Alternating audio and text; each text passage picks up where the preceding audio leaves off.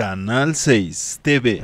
Con un taller de elaboración de calaveritas con chilacayotes, es como algunos habitantes del pueblo de Ayotla tratan de recuperar esta tradición que se ha visto opacada con la llegada de calaveritas de plástico. En la calle de Orizaba se instalaron unas mesas y niños, jóvenes y adultos fueron invitados a participar en este taller. La mayoría de los pequeños que participaron se vieron sorprendidos al saber que tenían que limpiar el chilacayote con una cuchara y después darle forma con su calaverita con un cuchillo. Los menores en todo momento se vieron asistidos por un adulto para evitar que sufrieran algún accidente.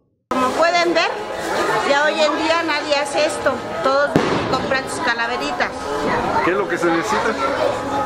Un chilacayote, una vela, papel. Le podemos adornar los ojos con canicas, este, un alambre para sostenerla y nada más. Algunos de los niños que elaboraron su calaverita con chilacayote se dijeron fascinados al participar en este taller.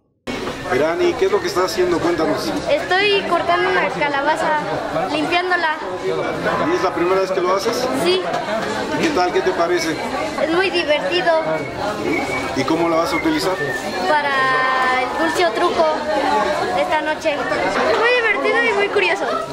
¿Qué es lo que vas a hacer con ese chilacayote? Lo voy a llevar a pedir dulce o truco Antes, ¿qué era lo que utilizabas? ¿Con qué salías a pedir? con una bolsa.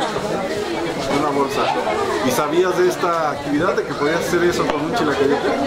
Para los papás que acompañaron a los pequeños a este taller de elaboración de calaveritas con chilacayotes, lo importante es la convivencia familiar y rescatar estas tradiciones.